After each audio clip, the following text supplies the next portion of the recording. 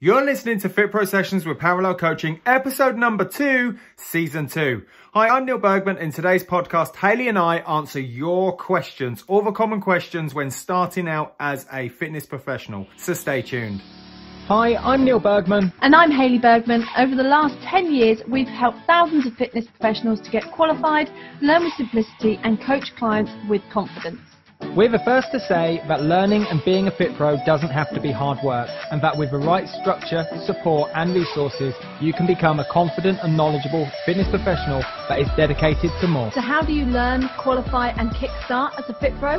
This is the Fit Pro Sessions podcast with Parallel Coaching. I am super excited for this one. Following the feedback from season two, episode one last week. Haley, how cool was it? Absolutely awesome. Amazing. Thank you so much for all your downloads, all your comments, and no, all of your uh, five star reviews. Five-star there was reviews. loads of them. It was wicked. So re- really, really do appreciate that because that allows us to help more people, reach more people with the podcast. And this week we're focusing on your questions. So it's all about Fit Pro beginnings. So maybe you've recently qualified, or maybe you're just just on the brink of being qualified and the certificate's going to land on your doorstep or you're going to qualify in the next few months. Either way, this podcast is for you if you're ready to kickstart. And I think this is probably relevant for a lot of veteran fit pros as well, having had maybe three or four months out from coronavirus where yes. they've not been training clients. And so you're getting back to it and you're thinking like, there's some bug-bearing questions of how do I make this my time? Yeah. And I genuinely believe that coronavirus, where you've had 14, 15, 16 weeks off, has kind of leveled the playing field. Yeah. So it almost doesn't matter whether you're brand new or you've got 15 years experience like me. You're we're all starting afresh with a kind of a, a different set of problems with with clients. Absolutely. And I think it's just making sure that all of our questions have a really sound answer. And this is what today's episode is all about. Exactly. Answering your questions as you start out as a Fit Pro in your Fit Pro beginnings. And we've had loads of questions. And what I actually really loved about these is they're not just relevant now, but we've seen these questions pop up year for the last after decade. year for the last decade. So they're always going to be relevant. They're always going to be appropriate. And you might just have one question in your mind that we're going to answer, but in hearing everybody else's questions and answers, that's when you get access to all the other things that you didn't even know to ask. Completely. That's really And I think powerful. one question, if you don't know the answer, can keep you stuck in that place with and stops you from moving on. Yes. So you're like, I just want to get going, I just want to get going. But you can't think of all of the other kind of get going tasks or questions Yeah. until you've had the answer to that one niggling question. To you, it might be absolutely massive, this question, but actually, once you hear the answer, you think, oh, that was actually really obvious. Yeah. And it's kind of, a, and it's usually, you know, I'm going to say the small, silly questions that yield the biggest results. So what we've done, or what Haley's done, is uh, collate all the questions. We're going to put some names to people that that, are, that that sent these questions in, but there were so many questions, all the same. We'd be here just listing like Jenny, Helen, Sarah, all asked the same the same one. So yeah, so we're when just there's a question that lots of people have asked, we're just putting the question in. completely. Um, but absolutely. So the big five. So we've chunked these into the big five. You probably saw us both just jump down then because our uh, notes on the computer screen just went blank and we were like, ah, what do we do? Yeah, exactly. so we're going to go with the big five questions and I think we've got like maybe 20 odd more. And so these we're are going the ones that we've heard every year for from so many fit pros. So we were like, these are the big. Do you know what number one question came through is, do I need insurance and where do I get insurance Oh. from? Now then. you- Not a week goes by. Not a day goes past. So insurance, any fit pro, whether you're PT, Pilates, exercise to musica, um, kids fitness, it doesn't matter what discipline you are, it doesn't matter what you're doing in business, you do need to get insurance. And insurance doesn't need to, it doesn't cost you an arm and a leg. You can, just like when you pay your insurance with your car, you can pay insurance monthly. You can pay insurance outright for the entire year. Yeah. And we don't have any uh, affiliation to any insurance companies. So, you know, the, the top kind of three, I suppose, that that we hear and see an awful lot that people get good um, good responses about and good feedback for. First one is Insure4Sport. Yeah, number And four I- in the middle. Yeah. Number four in the middle, and I actually use that personally as well for my clients. I think I pay something like sixty-five pound, so that's um, British pounds. So Yeah. we've got a lot of uh, listeners out in the Middle East, a lot in the States, a lot in Australia as well, Yeah. oddly. Um, so that's £65, which isn't a great deal of money spread across 12 months. Yeah, That allows exactly. me to know that I'm covered uh, in case something should go wrong. And I think Yeah. that's £5 million Yeah, so that's up to a five million pound public liability go. insurance. So you're looking for a public liability that's three million or more, really, is what you're probably looking for. So Insure4Sport is one of them. Fit Pro. FitPro comes up a lot, and they've actually done. I've been really impressed at how much support they've given out over the COVID nineteen lockdown. There've been lots of updates to their policies and things. So And I'm sure you'd all agree it's been a nightmare kind of deciphering the What new can and can't you do. And, and FitPro have been really good at kind of busting through all of that noise and saying you can now go and train six people, including you. You can now go and train 30 people outside, including you. And it's been really good. And then the final one would be you could get your insurance through um, CIMSPA or Reps, which is, I suppose, uh, no, not a governing body. Uh, they're, a, um, what would they? used to be a bit of a union. A really, union, yeah, I suppose so. But body. we will talk Yeah. about that very shortly. But ultimately, you do need to go and get insurance. Yeah. Fact, simple. Public liability insurance. Don't overcomplicate this. Don't overcomplicate it. Keep Type- it as simple as if you were looking for car insurance. just go onto Google, type in type in Insure4Sport, get on the blower, get on the phone, give them a call, wham bam, wada bang bang, insurance get it done. Tick. But you'd be amazed at how many people have this as a barrier and hurdle, and I can see why. Yeah. Okay. I think also it becomes a barrier and hurdle here because it's reality. Hmm. Once you're insured, you can now actually go and do Nothing's going to it. stop you. Nothing's going to stop you. And I think that's what some of these questions do. They allow us to stay stuck. And maybe we do want to stay stuck. It's a different question. Maybe that's going to come up in episode number three, which is all It about certainly will in episode. which is all about self-belief. Uh, next one Question down. number two: is- Should I register with Reps or CIMSPA? So it's not compulsory to register with Reps or Simps, but I actually used to work for Reps uh, many, many years ago. I did like my experience with Reps. However, uh, the pull towards parallel was far greater. Um, a lot of people see Reps or CIMSPA they've now joined as a as a compulsory measure, and I suppose that's what CIMSPA and Reps are wanting you to to do. It's one that- big register. one of big exercise register of exercise professionals. Um, but it's not compulsory. You don't need to sit there and go, should I, should I, shan't I, should I, shan't I? I don't know. It's entirely up to you Mm. at the end of the day.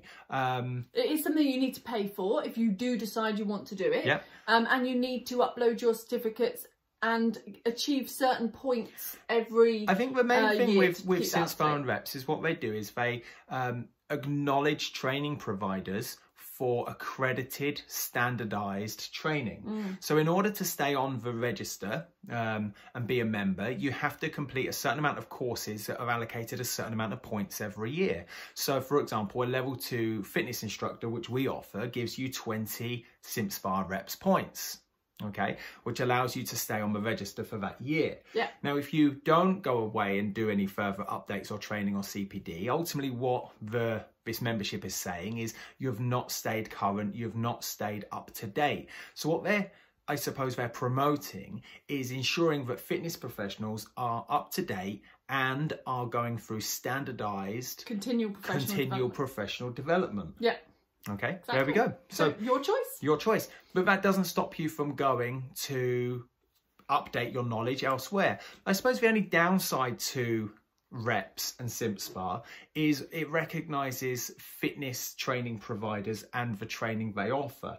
That doesn't mean that you could go and do a NLP course well outside the industry, hmm. or you could go and do a sales and marketing course well outside of the industry You're still progressing. you're still progressing, but you're not obviously allocated your CIMSPA points now. Okay, so it's just that recognition of where do I see my own training going? What do I need? As opposed to, I think this is a key point. Rather than turning around every year and saying, right, I've got to go and do a kettlebell course in order to stay on the reps register, Yeah. that might not be your problem. Yeah. You might not need to do a kettlebell course right now. it might be better for you to do a bookkeeping It course. might be better for you to do a bookkeeping. Yeah, completely. So inside your business, it's actually recognizing what is my problem, how am I progressing as an individual, as a as a small business. I like the principle behind it in that you're always doing something every year to progress yourself and you might create that structure Mm-hmm. yourself without necessarily going through something like Reps or CIMSPA where you say this year I've got X amount of budget and that's um that's going directly towards training and progressing myself. What do I feel the need is to do this year? Exactly. Yeah, Wicked. Next question down is what PARQ or fitness forms should I use? So I'm going to go straight in with a shameless plug here. I think Well, you know what? It helps so much. it's helped so many people. So we have a FitPro startup kit which has 35 odd forms in, which you can download to Word, PDF. There's Excel documents in there as well. It's 9.99 for Christ's sake. It's like the, tiniest investment, I think, for the amount of value you get. And it's nine ninety nine lifetime access, so you can download them as many times as you want. It's to just multiple devices. But the beauty of it is you can upload your, we show you where to upload your logo. It's easy to upload your logo, brand it yourself, change the color.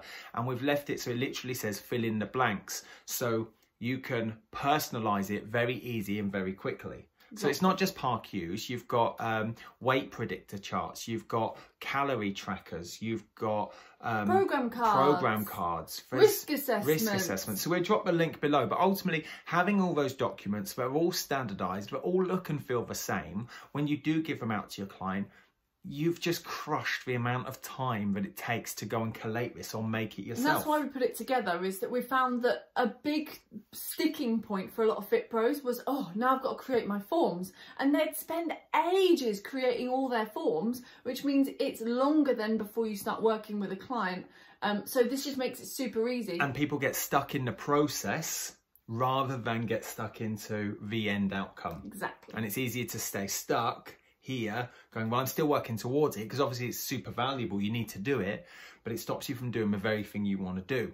Awesome. Cool. Which is probably the scariest part. The scariest part. And this one also keeps people stuck. Is how much should I charge? So this is question number four. How much should I charge? You know, how how long is a piece of string? How much do you want to earn? I think yeah, no, we covered this a little bit last week, and we're Yeah. gonna we're gonna pick it up. I think every episode for this season two. Yeah. But if you want to earn, let's say, let's keep the maths really simple for for the podcast for my brain right now. Let's say you want to earn twenty four thousand pound a year. There's twelve months in a year. Now that's two thousand pound per month. Yes. There's four weeks per month. You're going to earn five hundred pound a week. All your maths is better than mine. Let's just say you're going to work Monday to Friday. You're going to earn a hundred pound a day. Okay, so you need to put together some kind of signature program whereby it's the equivalent of a hundred pound a day. But there's so many ways of stripping a cat here. Okay, Loads. not that I think anybody's ever stripped a cat. I don't know where that saying comes from. That'd be really good to know. bit weird, isn't it? it is a bit weird. But ultimately, you know, you could have um, 24 clients pay you a thousand pound. So um, we've had a couple of people on this podcast. I think uh, Darren Stock, you know, uh, who was episode number quite early on, episode top ten, Yeah. who does nutrition coaching. He charges um, higher ticket, but works with them on a much closer proximity So he has less clients. less clients across the year, but increases his price.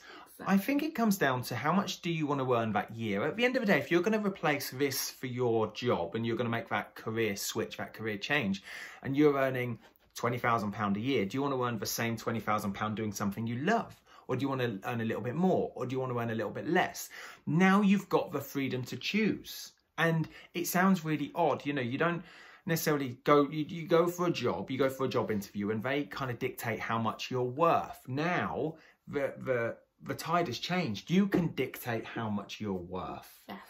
and i think we as a society as a as a world we're given this notion of what is a an acceptable income for the year what's the average salary now you can be in that position as a business owner, regardless of how big or small you want to make it, and say, how much do I want to earn? How much do I need to bring in? And it's a really different way of calculating it. And a lot of people, when they start out thinking about what to charge, they're worried because they think that it's a reflection of themselves, that they're selling themselves. Oh, so, great oh, point. I can't sell myself for £50 an hour because this PT that's been doing it for years is selling at £30 an hour. And they have a self worth, self value situation rather than thinking about the outcome or the result that you're creating as a fit pro because your client is paying you for the result not, Not- for you and your time. That's just goosebumpling. Just just go and pause and rewind what Haley just said. I can't, I can't say it Yeah, completely. you, because you the, the client, your clients are not gonna pay. They're not paying you to babysit. They're not paying you to stand next to a treadmill. They're not paying you to take them through an hour's workout. They're paying you for an outcome, for a result. Yeah. So just like if you went to the supermarket now, you went to Tesco's, that are other supermarket, Other leading chains available. and you bought tomato ketchup, Tommy K, Heinz, you're not paying for you're paying for the whole thing, aren't you? You're paying for the outcome of pouring that, squirting that Tommy K on your nice crispy chips. Exactly, and when you go to a restaurant, you're paying for the whole experience, not just because you've got some tomato sauce and some chicken. Like Exactly. it's it's the experience that you're paying, You're paying for, and the, the result. and the journey. You're paying for that journey. So when it comes down to pricing, you're not you're not pricing up your hour, your worth, your time, their time with you. You're pricing up the whole package, and you're not just going to be with them for the hour next to a treadmill or or busting out a, a body weight circuit, whatever it might be, or a Pilates or yoga session.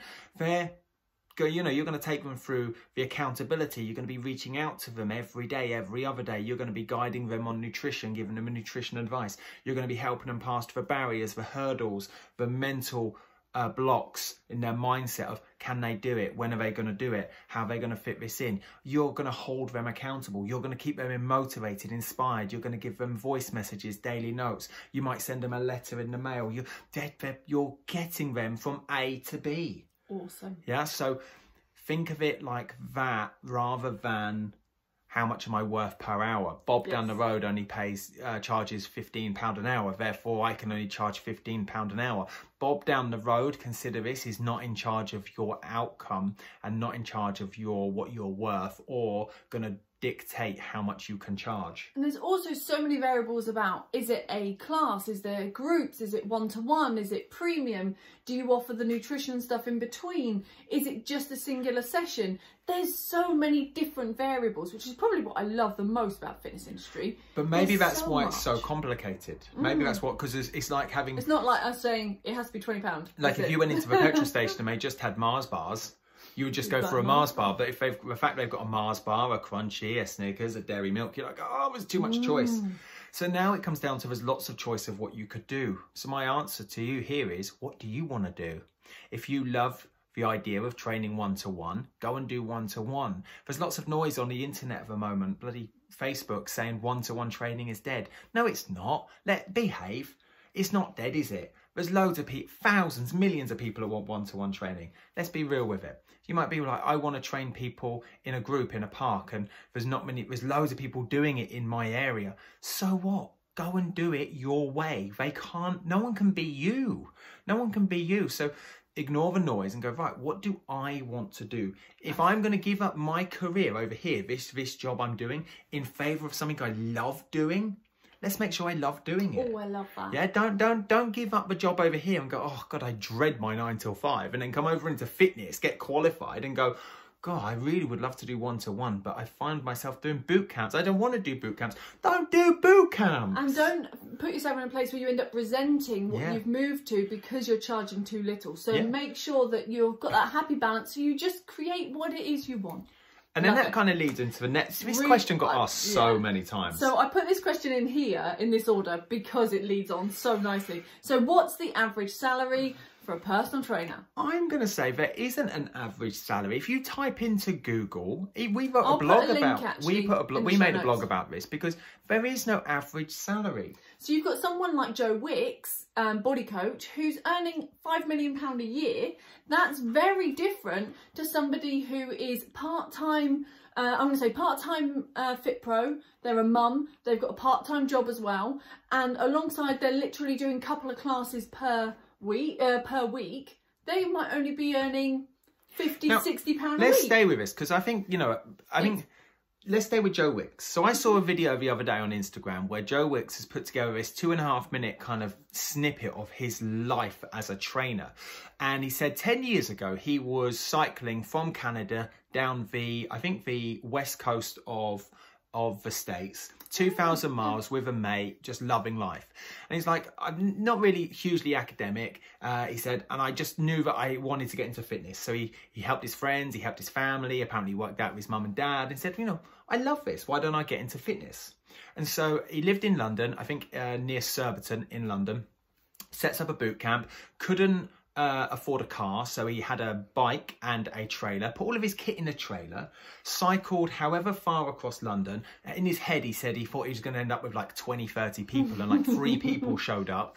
And then in the pouring rain, no one would turn up. Hugely demoralised. He would stand outside train stations and tube stations with big banners promoting his service and and and really grafting, really hustling. And he yeah. built a boot camp. He thought, you know, well, I'll jump onto his social media thing, and then he starts um, the the lean in 15, the 15 second clips on Instagram, and suddenly starts to get traction. And the whole concept of this this this short video he made was here's my oh, my 10 year overnight success. Oh, I love and his and what I loved about that in terms of the average salary, you could look at him and go, well, I'm not like Joe Wicks now.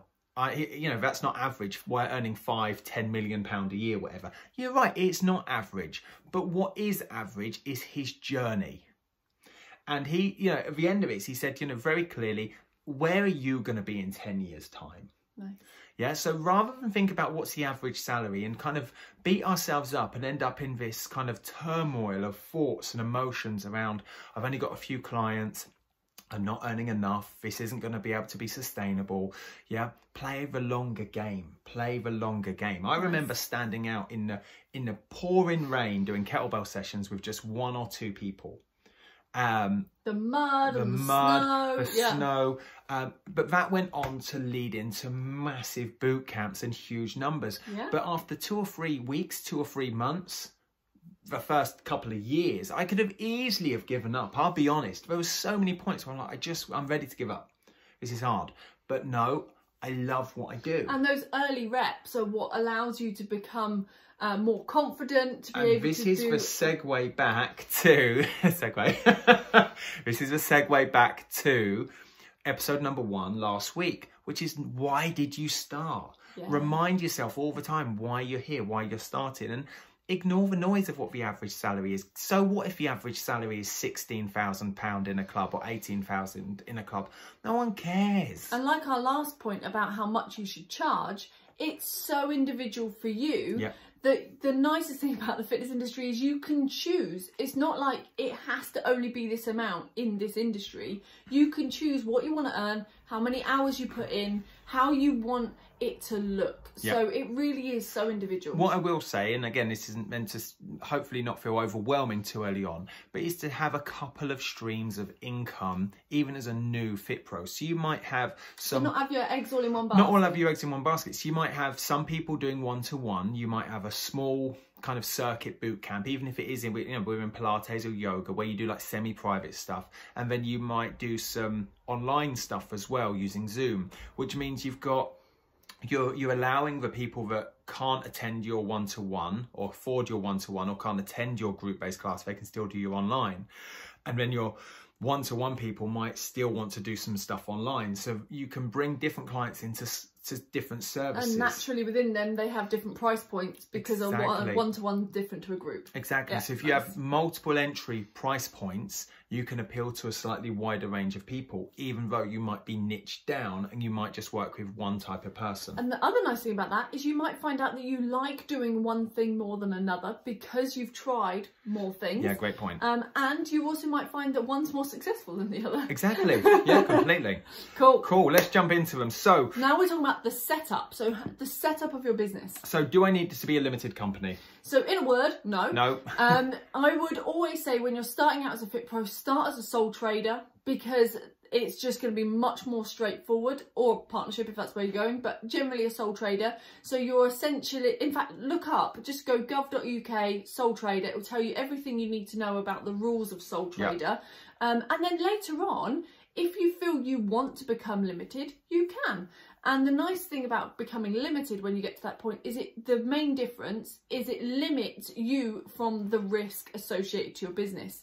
So it means that if somebody, for example, sued you or there was a problem, it means you're not part of that. The business takes that. Yeah. Um, so that's the main difference, but there are other costs involved as a limited company. But so being- giving a choice, I'd always start simple. Yeah, just go simple. Just be, uh, and, and you do your normal um, HMRC government gateway um, Self-assessment. self-assessment at the end of the year. Yeah. Simple. It's actually quite straightforward.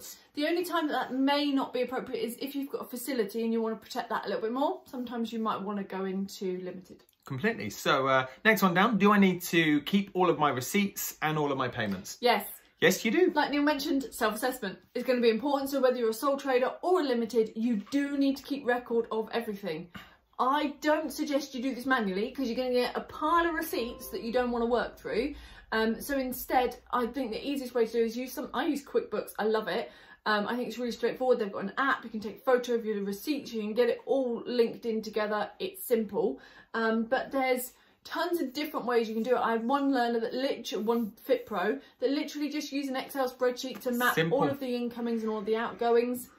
And I also recommend to keep it simple, you just have a separate bank account for your business. So, like for example, Yeah. Neil's got his own bank account, but he's also got his Neil Bergman FitPro bank account, so that if any payments that go go through from a FitPro point of view, we can track how much he's earned in that year. Exactly. Otherwise, if you're doing it from your personal account, you've then got like I don't know your fifteen pound on diesel that week, and your Tesco shop, and your and your wages go your in, wage, and you yeah, can't it's see just a bit messy. Just keep it really, really simple. Again, don't overcomplicate it. Just go go and set up a bank, set up your self-assessment, register with HMRC. Off you go. Keep your receipts. Um, what what you earn, what you spend out. Perfect. There we go. Uh, Mandy asks, what equipment should I have? Um, do I need a blood pressure monitor, calipers, um, For the fat mass calculation. for fat mass calculations, and that type of thing? So, I think it's really nice to have a little starter kit. yes, And I it, do. It, it doesn't need to be massive. I'm just going to put a little caveat on there because I think a later question is, do I? I don't have much of a budget. So if you've not got much of a budget, then I probably wouldn't worry with hardly any kit really in the grand scheme of things. Ultimately, it's how do you see yourself operating? I think a blood pressure monitor is a good place to start as kind of a bare minimum because that allows you to really thoroughly check is someone um, safe to start and follow in a PARQ. Yeah. Um, I think, you know, go back to when we first started, it was standard practice upon a gym induction or someone joining the health club.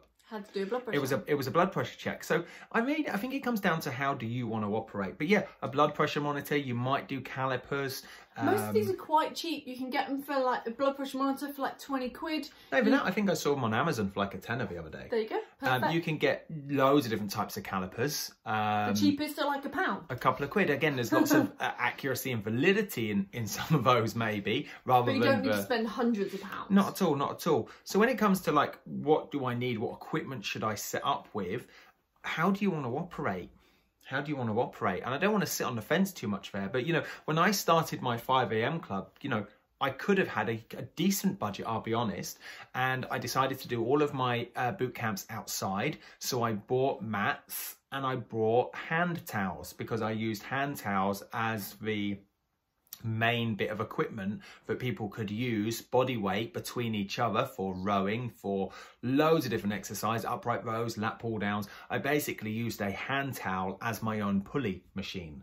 Um, so those hand towels were like free for a, a five pound from a local shop they weren't funky, they weren't branded, they were all black, and I just used, um, you know, those interlocking mats that you put down in your garage. Yeah. I just bought a pack of, uh, you know, a couple of packs of those from Halfords, and each one of those was my mat for for the lads. Perfect. And it and it literally was that simple. And I think after that, I bought some cones, and I think my initial investment was was under about 35, 40 quid, Yeah. and I'm still using some of that kit four years on. Yeah. Um, it doesn't need to be funky. It doesn't, doesn't need need, to to, look great. It just Do needs you don't need to brand everything not either. at all, not at all. and I think that's a really good point. Is actually a lot of people love the process of getting lots of uh, kit and lots of um, merchandise and making it look and feel really professional. But ultimately, I think, in my opinion, it comes down to how do I get my client the goal. You know, like you've got a parallel uniform. I never wear the. we- Why we don't wear it? No, we don't wear it. We don't. We like. It's just not needed, in my opinion. You know, we don't have parallel pens. We don't have a parallel pen pot. We don't have parallel mugs. We don't have parallel hats. Like, like all I care about is are you knowledgeable and do you have confidence? Are you getting the result? Yeah, me having a branded mat doesn't get the client a result.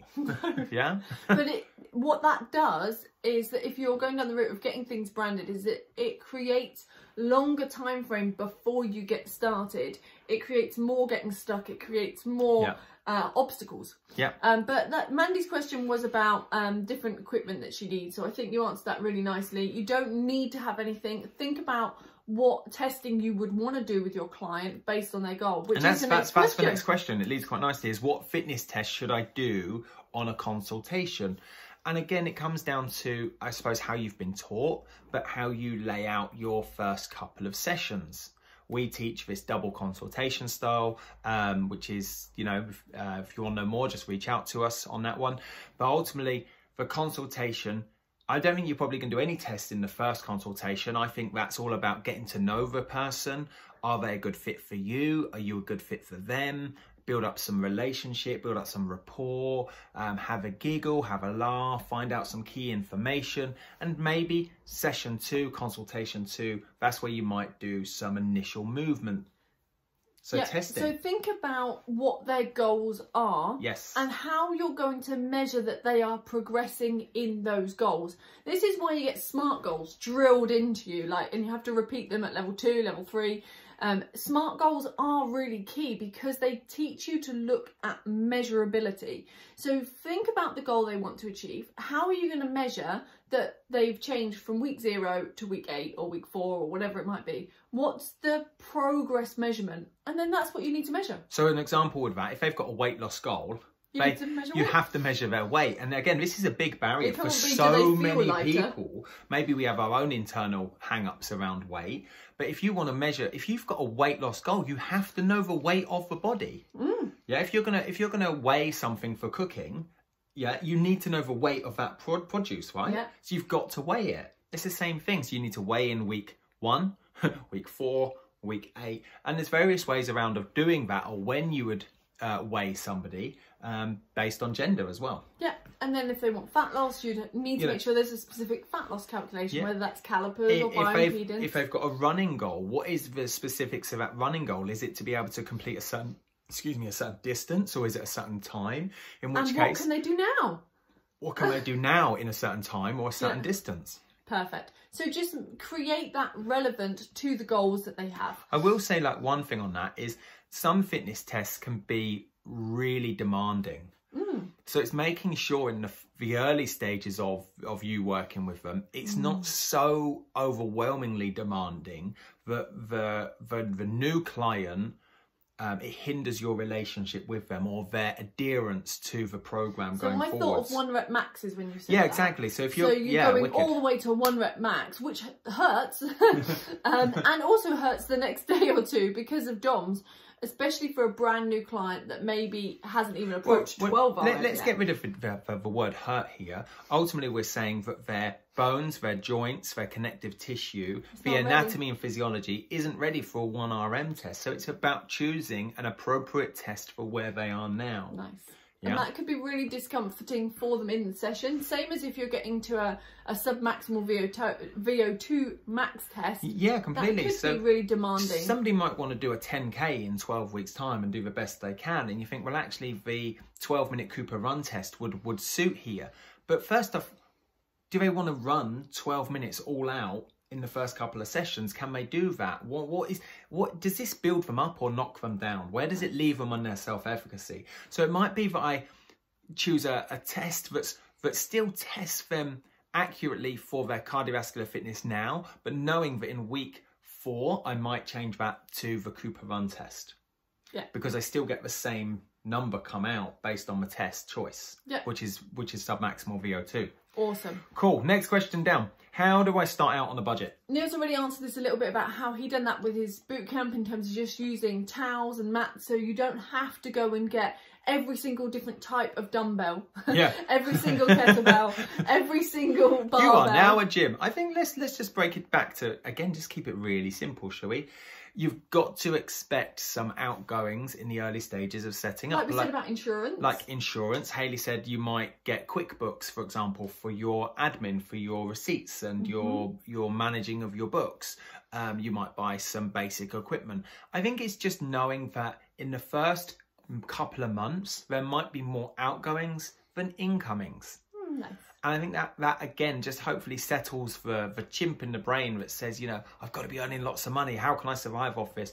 You're starting something like new. You're starting a business, and you know, no business really. I'm, I, you know, but you can call me out on here as maybe a little bit of BS, but no business really has a home run and makes great profit in the first few months, right? So it's knowing that in advance, and the fact we do know it. I'm not expecting it instantly. I'm not expecting it instantly. Like if you go out and make a huge profit in the first month, like you've literally done what most 99.9% of businesses don't do. The other thing that will help here is to do what we call a pre-sale. So wherever possible, before you go and create the content of your program, you sell it in advance of doing it. Um, so that obviously is a little bit easier to imagine maybe if it's say like a boot camp or something outside because the content is doing it.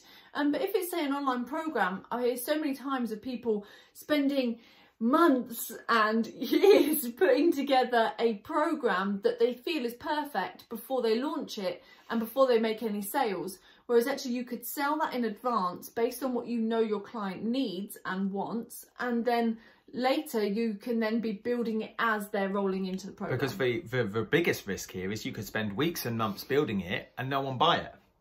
Craziness. Right. So yeah, that'll help with your budget. Uh, next one down is how do I launch a fitness business with no time whilst juggling a full-time job? what I love about this This is a great question. is it's the same question we hear from revision. Yeah. So the same person asking this is probably the same person that had the same problem fitting in the revision.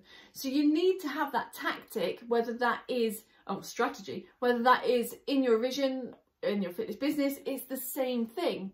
And I believe that comes down to doing little and often, Yeah. and sometimes doing the work when you don't necessarily want to. I think you've hit the nail on the head. Doing it regardless of how you feel. So if we go back to the early stages of parallel, I think this really we can really relate to this. So Haley was in a full Haley was in a full time job um, as like a lead exercise referral working in a retirement village. Haley had literally hundreds, uh, over 300 clients at Yeah. the time, all above kind of 55, 60 years old. Yeah. And all of them had medical conditions, which is why Haley leads exercise referral and the level fours very, really, really well for us because it's first-hand experience and knowledge. And then I was working um, in reps as well and doing lots of freelance work. I was going all over the country, all in and out of the Middle East, Lots of uh, lots of tutoring, knowing that we both wanted to set up parallel. And there was this point of like, right, I need to be able to do this regardless of how I feel. And there was huge sacrifice and compromise. And I think that's maybe something that needs to be considered is what am I willing to give up? So I gave up some of my workout sessions. What am I willing to compromise? I was willing to compromise um, a good couple of nights per week cooking a healthy meal. I knew that I could pinch time from certain places in order to get Nice. behind the desk, get behind the computer, and make some good traction. I was willing to compromise um, my seven or eight hour sleep that I now get. Yeah, Part of the weekends. part of the weekend. Some things had to shift. Some, things yeah. had to give. And then friends and family would say, um, "Are you gonna? Do you want to come around for a meal?" And I'd be like, "I can't. I'm working." And they'd say, "Oh, do you want to meet up?" And I'm like, "I can't. I'm doing this." And it's knowing that for a certain period of time, it's not forever. Mm. You have to dig a little bit deeper than you're used to and you're comfortable. So me and Haley have this analogy of a thermostat and we turn the thermostat up in order to produce something. So we have three or four projects on the go all the time. And every now and again, we, well, every week we turn up the thermostat just a little bit in one of those projects and it puts our back against the wall. It makes it uncomfortable. Makes you work a little bit harder to get a bigger capacity to do more. That's that thermostat. I want Yeah. more. And I think this is why we have to go back to se- uh, se- uh, season one last week, season two, episode one last week of why did we start? Mm. If we know the why, you'll go, cool, I'm, re- I'm, I'm capable of spending another 90 minutes bu- up and it's half past 11 already. Um, it's And crazy. part of that, if you start off with a small chunk, as you turn that thermostat up, as you get into it, the things you're doing become easier or more natural, Yeah. and you can fit in more and more until you're ready to either make a full switch or if you're not making a switch, you get to the point that you're comfortable. I think it comes Not down to as well happy. to being yeah completely. So I think it also comes down to like self belief Mm. and believing that this is gonna pull off at some point.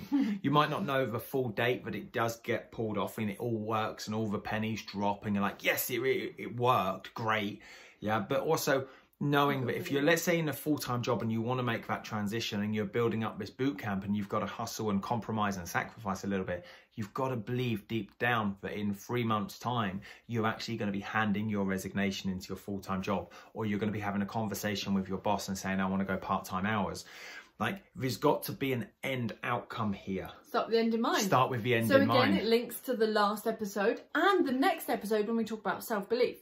And the next question. the next question uh, which is if Yo, your this is a great point. don't understand you and they think you're silly for wanting a new career in fitness. like i hope this resonates because I, I do i know a number of people that messaged us about this But... and the question was, my family don't understand me. But yeah, but, and and for a few of you, we won't mention any names because it's just not needed. But they said like, my husband doesn't quite get it; he's not fully on board. My wife thinks I'm silly for doing this. Um, a couple of people my have husband actually thinks it's a phase. a phase. Um, that that even like you're grown up, you're all grown up, but you're in that point where your your kids have left home and they're questioning you as well. And then your work colleagues are, are you sure you're going to go and do this? Like, why would you give up working here? You've got a good pension ignore the noise. Yeah, they're not meant to understand you. They're not meant to understand mm. you right now it's not their end outcome and their end goal, it's yours. completely. Yeah. And again, go back to what was the end goal? Why are you doing it? So if we we rewind to like 2011, 2012, you know, we were both earning respectable incomes. I was working in central London on a good wage. It was comfortable. There was a clear, clear progression. I was working in a, a training provider as a general manager for a mm. major training provider that went on to do multi millions. You know, we were doing very well. It was clear how I was going to move forwards, right?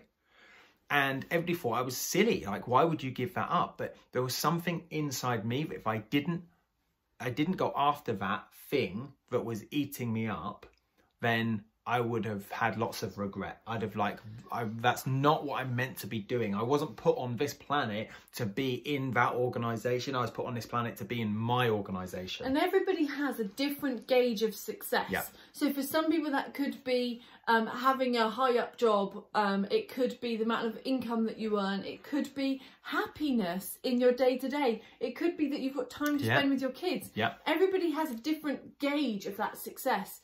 And your gauge of your success might not be the same as those in your family or Great those in your friends. So they might be like, you're mad for giving up that wage or whatever. And you're like, but this is more important to me. This is what I gauge as successful and I want it. one thing I okay. one thing that I've really really enjoyed is is a is a quote from my coach, and he says, first they ask why, Hmm. and then they ask how. Nice. Yeah. So eight years ago they asked, why are you doing this, Neil? Why are you doing this, Neil? And now they ask, how did you do that? Could I pick your brains? How do you pull it off? How do you pull it off? Yeah. So I'm just going to say they've it's important for them to be on board, but they're not meant to truly understand the inner workings of your mind. Yeah. Yeah. Uh, Cool. Next, still on setup. Another still on question. setup is how do I take payments from clients? Cool. They give you the money. They give you the money. um, I'm a big fan of using Stripe. I think it's fantastic. Um, obviously PayPal is also an option too. Um, Stripe's good because it's quite a small percentage that they take um, in order to process the payment. You can either process the payment directly on the uh, Stripe portal, which is easier on desktop, I have to admit, um, or on app that they have, like a Pay Now app. Yeah. Um, and the nice thing about this is you could take payment from your client with them sitting next to you on a talking consultation over a cup of coffee. You can put in their details and they can sign up then and there. The, the deal is closed. you can do it over the phone. You can even have things like this for classes if uh, in terms of like even a contactless on Yeah, on there's lots these. of so international options. secured payment gateways, but Stripe, um, is probably the number one one to use. And easy to the number one one. Number one one. The number one one. We'll give that a go. Cool. So we have got so many more questions. I'm conscious of the time ticking here. So I, I'm going to do them justice, but we're going to move through them legal, so quicker. let's- So John asks, as a new Fit Pro, do I need insurance and a license? And I'm training clients outside. So we've mentioned insurance. Yes, you do.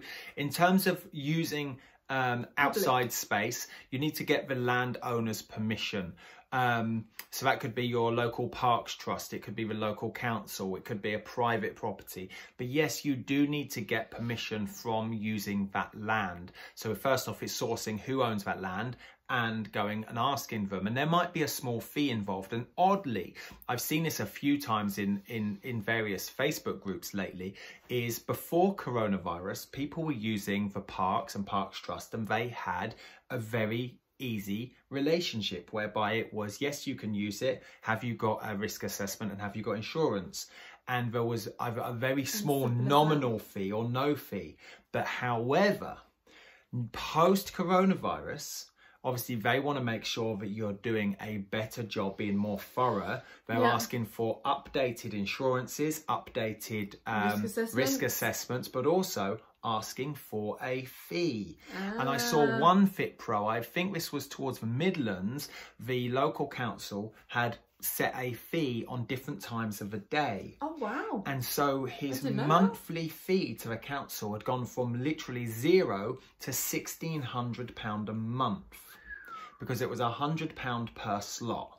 Oh wow. Completely. Might as well hire a hall. That's insane. Exactly. so my point here is just make sure that you do have the landowner's permission because the point here is if something should happen and your client does have an accident, even though you're insured, you're not insured to use that space. And now that could make your insurance invalid. It's like owning a car, getting hmm. insurance and getting it mapped and changing it and adding things to it and not letting the insurance company Yeah. know. And then you have an accident, they check the car over and say, but you've done X, Y, and Z to it. You're not insured. You didn't tell us. It's exactly the same also, thing. Also, like if you had your own premises, your own house. Well, this is the next somebody- question oh, from Mira. Oh, hold on, no, in Okay. a second. If you had your own house and somebody wanted to come and suddenly start teaching uh, fitness Oh, on your great- own property, great point. you wouldn't really like it. So it's the same applies. Somebody might own that land, in which case it's not they don't want it to be used for something other than what they want it to Yeah, be so, so an example, you could be like, well, it's only a disused car park. No one uses it, but it still doesn't belong to you. Mm. Yeah, I could own, I could own that disused field. yeah. I'd be like, but it's my field. You're Oh, not using it. But even if it's just sitting there doing nothing, Yeah. it's still my property. Yeah, exactly. Okay, so you want to make, you wouldn't want anyone on it without you knowing. So it- it's just a, a respect thing, I think. Yeah, find out who owns it. I think this leads nicely to Mira. Can you train from your house and are there any special permissions and licenses? And I think this is a great question, and the answer is yes. So let's say, for example, you go, I'm, I'm not going to go in a gym, I'm not going to pay rent, I can't go in the park, I'm going to set up my own gym in the garage. In the You, you've now changed how you use your house. And so you would, let's just say you've converted your garage to a gym, or a small gym or studio. It's not commercial by any means, but you've changed the use of the garage. Mm. And now you're making revenue out of your garage. You need to have permission to do that yeah. and the various insurances to do the that. The planning permission side of it changes uh, because of people needing access and because of uh, like parking, E- footfall, egress, music. music, neighbours, whatnot. So yeah, you need to again contact the your local um who would it be council Mm. to understand how you can go about and what you can and can't do. But it's not as simple as I'm just going to use my garage and set that up with a treadmill X, Y, and Z because you've now changed the use of that particular um, part of your house, your space, even though it's yours. You're operating as a business. You're operating just like the local gym down the road, but you're not wanting to conform to the rules of that. Yeah. So yes, And the other side um, of that is obviously it's very different if you're doing online training and it's just you in your lounge doing an online video that you don't necessarily need to do change of use for No, completely. because there's no other clients coming in. I'll just clarify that one. Cool. Cool. Next one, Chris, Chris. how can we change and operate in a new COVID environment? This is likely to be a fluid situation. It is a really fluid situation. It's changing all the time, and the main point here is it goes off the guidelines from government, and it also goes off of your insurance. How can we change and operate? I think is a really, really simple answer. Bring as much value to your marketplace as possible, regardless of what changes. Yeah. Constantly add value to your social media platforms. Constantly go out to grow an email list. Email them every day. Reach out to your prospects. Reach out to your clients and add as much value. The more value you bring, the more equity you have in that marketplace, which means you have permission to ask for a sale, which means you have permission to um, challenge your clients even more, which means you are ahead of your competitors. So rather than think, you know, it's a really fluid situation, there's lots changing, uh, oh, I don't know if I should do this or can I do that, just constantly think, how am I adding value to the marketplace? And this is something that we've we've pushed really hard inside Parallel. So right from day dot of lockdown, March 23rd, I think it was, um, we, we noticed a number of training providers almost take their foot off the gas.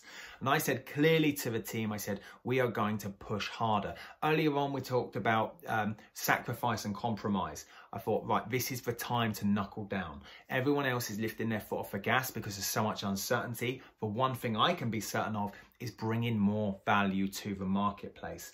And the response has been phenomenal. What I love about this is that the tactics are changing based on the rules, regulations that are out there from government, insurance changes. Yeah. But the principle will remain the same, and that is the value that you give, just like Neil said. Completely. And we had a wicked podcast on that, and it was the principle never the tactics will change, but the principles, never will. Never will. Wicked. Yeah. So if you're struggling with your level two principles revision, go and look at that, watch that, uh, listen to that even podcast. Get there in the end. Next question down. Who, Who can, can I, I train, if? I'm level two or level three? So level This question yeah, comes up a lot. great. So and sometimes it's a little bit unclear. Um, the easiest way to look at any question like this is did you get taught yeah, this is a, what an answer. how Oh, to work with that type of client? That's a great point. If you didn't, the chances are you can't work with them or you're not suitably prepared to work with them. So at level two, you're looking for an apparently healthy individual. Okay. You did do some uh, recommendations around exercise for Awareness. an awareness for older adults, pregnancy, younger populations, so 14 up. 14 up, and um, Disability. disability. But let's say, for example, somebody comes to you with a um, if it's, if it's in their second trimester or um, 10 weeks post pregnancy, they require somebody that is a specialist in pre or postnatal. You're not qualified. You've just understood the recommendations to guide them in the right place. Yes. You're working with somebody that's apparently healthy. And then at level three, it, it doesn't really get any broader than that. You're working with somebody that is an apparently healthy individual that passes a PAR-Q. Yes. So if somebody comes to you with um, High blood pressure. high blood pressure, type 2 pain. diabetes, whilst there's an awareness of it, and in the grand scheme of things, not much changes from an exercise recommendation, there are different risks associated. Especially so, hypertension. so something outside of this is is we use a tool inside exercise referral called the Irwin and Morgan Morgan risk stratification tool, and this is a simple grid that This is clearly in your startup kit highlights. well. Yes, in the start kit, but clearly says who can I and can I not work with. So anybody that is of higher risk, so kind of high, low, medium risk, medium risk, and high risk, we can't work with. Mm-hmm. So a level three PT is somebody can work with that is uh, Low risk. low risk, which would be apparently healthy individual, overweight, maximum BMI 29.9. Anybody over that, they are associated with different risks. Yeah. So it's knowing your boundaries. And you might be listening to think this and thinking that's a load of rubbish. And maybe it is a load of rubbish, but ultimately we didn't make this up. And they have rules around your what your qualification allows you and to they're do. there for a reason because the risk changes. So um, the clients that have more conditions or more stressors going on in their body, they've got a build up of risk that is happening. You add exercise to an already stressed body, Yeah, great. and you're great more point. likely to have a risk. And that risk is going to be things like heart attack, stroke, making the condition worse, meaning that they get more symptoms and signs either for that condition or for other conditions. And also the, the comfortability of your of your clients. So let's say for example they are grossly obese and you don't consider the considerations for that condition, then you have um, potential to really make them feel uh, self-doubted or self-efficacy, self-belief, self-worth, confidence. Got there. But you Um, know, but yeah. the other side to that um, would be and you've got a client in their early fifties and they've got arthritis in the hand, Mm-hmm. for example, and you might think, "Cool, I'm going to train them first thing in the morning." Well, number one, number one thing is stiffness in the joints. Mm. So now they can't grip the barbell very easy. And so they might not tell you the ins and outs of actually how that feels. And you don't have that knowledge of what to do or what time to train or the or the adaptations and, and alternatives to exercise Perfect. in order to match their condition. So really what it's That's what, what, it comes and that's what it comes back to, I think, in in the PT certificate. Was did I did it get covered? Did it get Mm. covered? Yes or no? If it didn't get covered, then don't train them. Yeah. Nip It's that okay one to say no. Yeah. Yeah, cool. There's one final point. If something does happen and you end up in a courtroom in a dock and they turn around and say, show me your insurance, show me your certificate, show me the PARQ, show me the consent form, etc., etc., and you've just got the PT certificate and this person is riddled with common clinical conditions, they'd be like, well, you're not insured, my friend. You don't have the adequate knowledge to back you up. Awesome. Really well summed up. There we go, nipped in the bud. Cool. Next Awesome. question. Um, do I need a risk assessment? Yes, you do. Oh, missed one, but that's okay. Yes. Oh, did we? Oh, yeah. That's fine. Do I need a risk assessment? Yes, Yes, you, you do. There is a template for it inside the FitPro Startup Kit as well to help you, but definitely do a risk assessment. Next one, no, excuse me. When teaching a class, does everyone need a PARQ? Yes, Yes. they do. um, everyone should do a PARQ right at the very beginning. And if they, um, I would be inclined to do a PARQ periodically as well, just in case anything changes. But you're also going to do a kind of a session by session verbal screening as well, just to make sure nothing has changed. And then let's say, for example, you have a client, they do 12 weeks with you and then take three, six months out, go and do another PARQ with them. Yeah, if they have a gap. because if there's a, a gap or a, a, pause in training, we don't know what's happened during that time or why there's a pause. You could do this as a paper PARQ where they fill it in, um, or an online link is perfect. So go to one of the many form builders you can have, whether it's Google Docs or Wufoo or whatever it might be. Create a form and send it to them before they attend the Jot, class. Jotform is another one as Yeah, well. cool. Send it to them before they have the class. The form then gets emailed to you. You've got record of it. Lovely. Cool. John asks, would I be expected to trust my clients if they say they have no unconditional medical history? Um, how would I spot the signs? This is a, this is, I think, one of the best questions. I So love that's this. like trusting what they put on the you, right? And at the end of the day, yes, you do. If they tick no all the way down, you have to go with well, you could challenge them verbally, and you could um, go a couple of questions deeper. And through a client interview, you might ascertain that actually the no is actually in fact a yes. It's also why the PARQ is so important because they've signed to say they have none.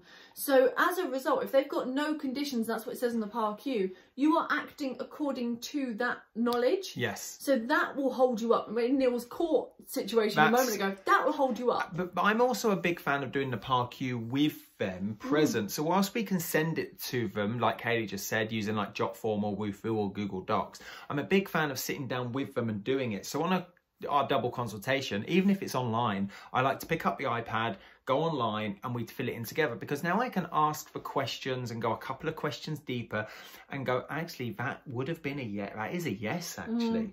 because it's it's still my duty of care. Perspective of knowing what it means as well. Yeah, completely. So I've I've been in that situation where a client has ticked no because they just want to get going. They don't want to be in that position where they there's a whole host of reasons why they they might want to tick no instead of a yes. Maybe they're embarrassed. Maybe they just want to crack on. Maybe they don't want a hassle. Maybe they don't want to go back to the doctor. Maybe they just don't want to tell you. Maybe that, that's just what they want to do, and it's their mm. prerogative to do it. Yeah. Yeah. So yes, you've got to trust them. I think we've also got to take that with a real pinch of salt and go, how can I elegantly uh, get them towards the correct yes or no answer? Awesome. Nice. Cool. Um, do I need a music license? Only if you use music.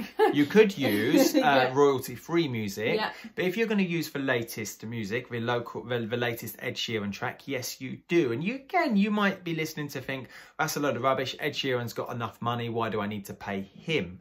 Um, just like the landowner we mentioned earlier, that's his land. We're going to pay for use of his land. Or if you're going to go into the gym, you're going to pay for use of that gym. They own that. They've earned and worked towards owning that. Just like Ed Sheeran has built a career around music and he is going to be paid a royalty for his hard work, time, energy, and effort. So, regardless of what our thoughts and opinions are of he's got enough money or why should I have to pay that, those are the rules. And I think if I think we can nip this in the bud. If you love his music enough to use Yeah, it, nice. then surely you love his music enough to pay him a small royalty. Nice. So go to PPLPRS. They've combined. It used to be two. Yep. Um. So they've combined. Go to there and they will give you all the information. You can hop on a call with them. Go through exactly how many classes or how many hours you're you're doing activity for with um with music, and they will create the right quote for you. So yeah, And at the end of the day, like if you get caught, the fine Fine is massive. is isn't it? way bigger than your monthly or yearly fee for the royalty of music. So it's Yeah. like the risk there. Next one down is do, Do, I need to? register with ICO for GDPR? so who are the ICO? So the Information Commissioner Officer, Commissioning Officer, um, this is basically for GDPR. This came in place at the exact same time. Um, because you're handling data, they need an information log of all the people that handle data. They don't need all the people that you handle data for. Um, but essentially, you as a FitPro are handling data of other people. So you need to be registered with the ICO. Now, the, the easiest way to do this is literally go gov.uk um, ICO, and that will direct you to the right place. Then you can do a little test where you literally put in the information and it will be like a little quiz that shows you exactly where like what your needs are as a business, as a sole trader. Now the chances are it's going to cost you about 40 quid a year. There are other ones that are higher than that, but we're not even at that level. You guys are not going to need to be at that kind of level. So it's probably going to be 40 quid for a year, but definitely make sure you are registered. Yes. And it might even be that you don't have to pay anything. Yeah, But you're registered. you're registered. It's about being legal, decent, honest, and safe. Yeah. Marketing! Marketing. I'm not very techie. What do you suggest? Don't let technology be the hurdle here. You might think, I'm not very good at Facebook. I'm not very good at Instagram. I don't like face to camera work. You've got to start somewhere. And you might think, oh, how do I set this up? How do I do this? So there's a couple of ways. The easiest and like the free way would be go onto YouTube and say, how do I set up a Facebook page?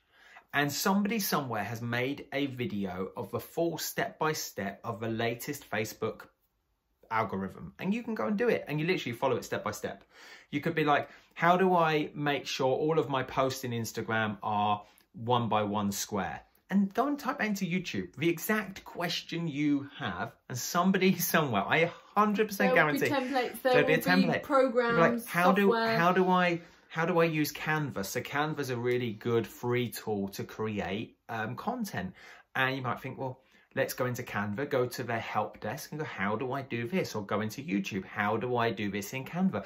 Somebody has made that. Now, the other side to it is you could go into our fitness business Kickstarter, um, Yeah. which gives you the step by step to finding out who you want to work with, how you're going to work with them, setting up your signature program. Then you've got what we call the 4S engine, which is setting up all your systems, all your strategies, all of your stats, and your the, the setup of your business for statistics. And then you've got our starter system, which is all the sales for sales scripts, how to go about asking for the sale and guiding the sale. Then you've got the ins and outs to Facebook, Instagram, YouTube, blogging. It's all in there. Yeah. Um, so in terms of like not being very techie, I don't think you need to be very techie. And just like anyone, you've got to start somewhere. And what I would say here is give yourself a challenge to work with one new thing at a time rather than trying to do everything all at once. Just go, right, I'm just focusing on Facebook, for example. I'm not going to try Yeah. and do Instagram and YouTube and everything else at the same time. I'm just going to do one thing at a time. And as I'm doing that one thing, I'm going to just look at doing one post a day. Oh, Yeah. that's a nice image post. Cool, I'm happy with that. Once you're happy that you know how to do that from a tech point of view, then Move on. challenge yourself to add in something new. Don't Yeah, try and cool. do loads of stuff at once because you get like in this whole little lost maze. Just do one thing, master it, other Just thing, like a smart on. goal, achievable and Yeah. realistic. Yeah. Just keep it simple and go, rather than be like, oh, technology gets in the way, go and learn the one thing and do that consistently for a few days or a few weeks until you feel comfortable to add the next few things. Awesome. Nice question from Alexandra. She says, How long do I pursue a specific marketing technique before changing tack? Because she basically has it all set up and then finds that she gets cold feet before it's uh, been given a long enough time to have any kind of uh, impact. So she ends up going, Obviously, isn't working, I'll scrap it. Rather I've- than giving it time. I think that it's, it's, it's a, how long's a bit of string, but I do want to give a more definitive answer. So we've been doing a morning parallel show on Facebook Live, mm-hmm. and we are about 40 days into this. So every morning, apart from a Sunday, on our Facebook page, Parallel Coaching, you'll have us live somewhere between 7.30 and 8 o'clock, only for about 6 to 12 minutes. Okay, eight to 10 minutes max, really. And the first couple of days, we got a really good response because it was something, it was a new approach, and people tuned in and were like, oh, there's Neil and Hayley again. And then we had a couple of weeks where the numbers weren't all that great on the live, but the replay was really good. And it would have been really easy to have ditched it at that point and thinking, actually, not many it doesn't people, work. doesn't really work. Now then, at the end of day 38, Mm. We had 13,000 minutes of viewing. So somebody had, or a number of people, not somebody, people have watched those select uh, 38 videos and watched a grand total of 13,000 minutes. A lot. And now Facebook Insights could give me an incredible amount of data of what worked, what time was best to post, the ideal length, what type of title, um, was it best for us to be in the office, in a different room, outside, by the sea, on the beach, because we live down here in Plymouth in the UK. Um, and now I can follow success leaves clues. So I'm going to say the answer to this one is you're going to leave it long enough until you can feel or see the success. Let's change that until you can see the success. And the success clues could be that it's not working. You've got to leave it long enough for you to get data to come back. And I don't know what marketing technique Alexandra specifically used. I've actually been working with Um, Alexandra and she's actually killing it at the moment. Cool. Yeah. I was going to say I would add to that that you it's better to add something else before you remove the one that's already in place. Yeah. So you're not going back to square one and taking all the momentum out. I think Um, there's also we need to be realistic. If you're just starting out, because this is what this is about, isn't it? Fit Mm. for beginnings. You might think it wasn't very successful. I only got one or two, five, six clients. Like that is a phenomenal success. Yeah, even if you sold one person, that's a phenomenal success. Don't beat yourself up. Like if that's the first person you've sold, when was the last time you've sold another person? Nice. Like you've got to like tip your hat and think, do you know what? What was achievable and realistic? You know, you're you're not going to go out and change the world in the first few weeks or months. If you market and you you've you've tried Facebook Live and not many people listen, but at the end of a month you've got one or two new clients.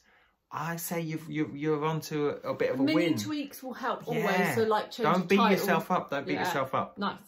Final question. Final one. Final one It's is Kate. Kate.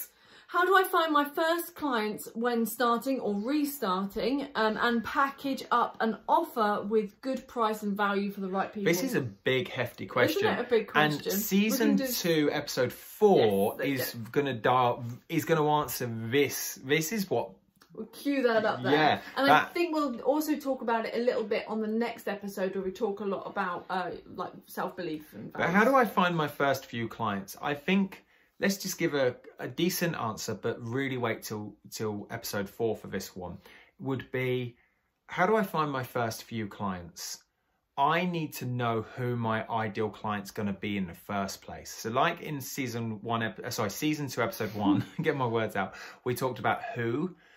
Make your mess your message. You've got to know who you're going Mm. Start after. with the end in Start mind. with the end in to mind. know the client and their outcome that they're looking for and that will be the foundation to you being able to find that client but also being able to create the right package for them because you'll know what it is they want to get So- to So Kate, obviously female, I'm just going to go down the route of working with, say, busy mums. So you might put out on your social media the pains and problems of a busy mum and how you can incorporate exercise into their routine, how you can incorporate um, healthy eating, making sure you get out the door of a morning on a busy school run, having packed your own lunch. So giving them, you know, valuable advice and guidance without the expectation of the sale on social media they go "Oh, actually it's really good. I really like what kate does. I, I i i trust that she gets it done. Look she she practices what she preaches. She's a leader of this. This works for her. Why doesn't it work for me?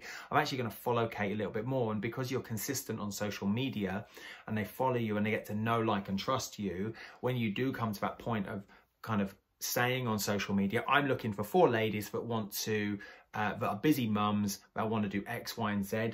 They're going to be the ones that put their hand up and reach out. To start building the value up So front start building the value up front. awesome Um, and we mentioned about pricing earlier on in it as well, and the value uh, of the right people. yeah Cool. I think that's a wrap. that's a wrap Tons do you know what there was 25 questions and there was there was a few more that on was our of that. top 25 that we kind of took from uh, from those that came through which is amazing um, if you have any extra questions you can reach out to us as well the biggest thing i would like to know from you right now is what has been your biggest takeaway it might be that we answered your specific question and you're like yes i got a mention um, or it might I made that- fit pro sessions. or it might be that the someone else's question led to an answer that you're like, oh my god, I didn't think of that, but I need it. Um, so definitely um, let us know in the comments if it's below YouTube, or you can send us a message. I'll put all the links in the show notes. Next week, we're talking about uh, Fit Pro Beginnings, but from an internal perspective, we're talking about self belief um, and understanding it from in here and all the things that that stop us, but also get us going as well, but all from an internal perspective. Boom. I just had a really good idea before we go. Oh, what's that? I'm going to put it to you guys live. How about a season where we had maybe four weeks where we had a Zoom call with one of you guys, a learner, and we had a general discussion about a subject of your choice.